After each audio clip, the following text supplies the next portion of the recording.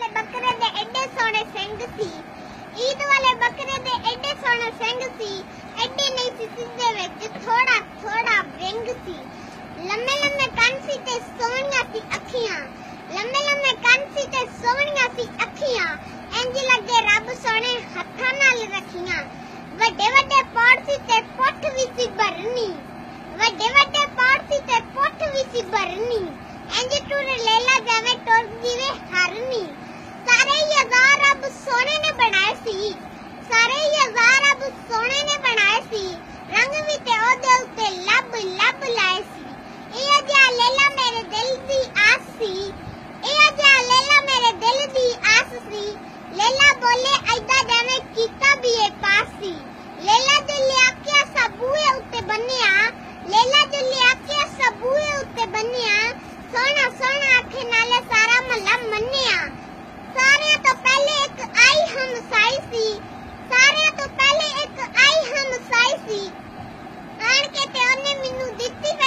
ਫਿਰ ਸੀ।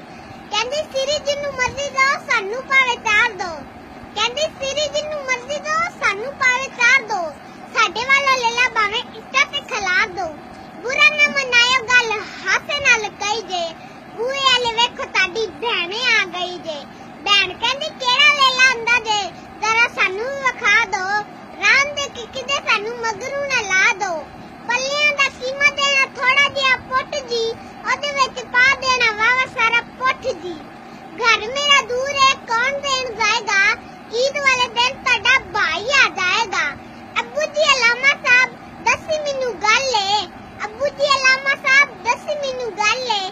ਜੰਨਤ ਚ ਘਰ ਪਾਣਾ ਤੁਹਾਡਾ ਹੀ ਸੀ ਖਾਲੇ ਖਲ ਜਿਹੜੀ ਜ਼ੁਲਫੀ ਲੈ ਕੇ ਮੈਂ ਆਪ ਜਾਵਾਂਗਾ ਨਾਨੀ ਜੀ ਦੇ ਨਾਂ ਦੀ ਉਥੋਂ ਪਰਚੀ ਕਟਾਵਾਂਗਾ ਗੋਸ਼ਤ ਵਾਲਾ ਰਹਿ ਗਿਆ ਦੱਸੋ ਹੁਣ ਕੌਣ ਸੀ ਗੋਸ਼ਤ ਵਾਲਾ ਰਹਿ ਗਿਆ ਦੱਸੋ ਹੁਣ ਕੌਣ ਸੀ ਸੰਗੀਆਂ ਤੇ ਸਾਥੀਆਂ ਨੇ ਮੰਗੀ ਮੈਂ ਤੂੰ ਦੌੜ ਸੀ ਪੇਕਿਆਂ ਤੇ ਸਾਰਿਆਂ ਨੇ ਐਸੀ ਵੰਡ ਪਾਈ ਸੀ ਲੱਖ ਸਾਡੇ ਹੱਥ ਵਿੱਚ ਔਦਰੀ ਜੇ ਆਈ ਸੀ